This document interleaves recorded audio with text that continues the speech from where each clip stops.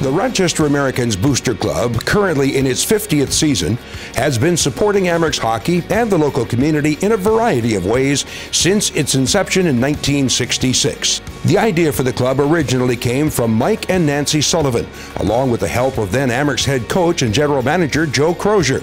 They launched the Amerks Executive Club in 1966 for the purpose of promoting hockey, supporting the team, and assisting the front office. The club has supported countless charitable causes and has assisted the Amerks in a variety of ways, such as helping sell tickets at local malls, creating team awards, executing on ice promotions like Scoro, providing food for the team during road trips, and crafting personalized scrapbooks for players each year.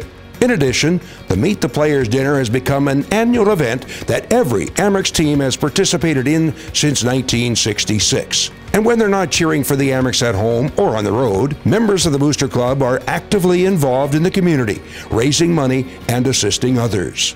I want to congratulate the Booster Club for being uh, elected into the Hall of Fame. 50 years and uh, I just want to thank you personally for how you've treated me over the years and welcoming me and my family when we came in. But you've done that with all the Amerks players.